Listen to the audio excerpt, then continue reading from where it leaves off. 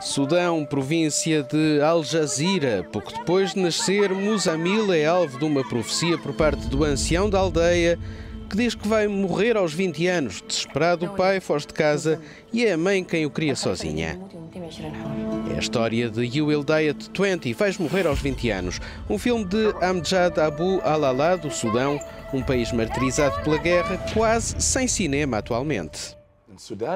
No Sudão não existe neste momento uma cena cinematográfica.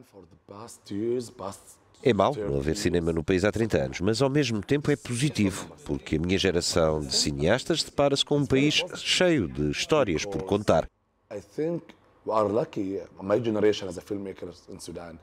Estamos habituados aos filmes africanos e aos filmes árabes. A mistura dos dois é que é novidade. E o Sudão é essa mistura.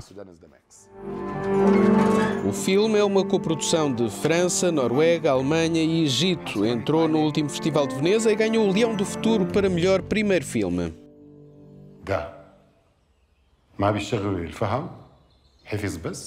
Fazer um filme com boa qualidade era o meu objetivo desde que decidi fazer uma longa-metragem, já lá vão 10 anos Tinha a certeza que queria algo de qualidade, não só em termos de atores, como em termos de visuais.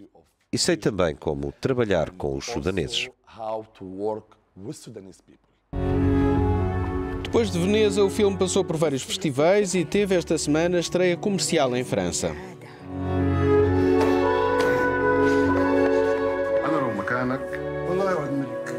وبعد ما تم 20 سنه اطلع لهم Bye.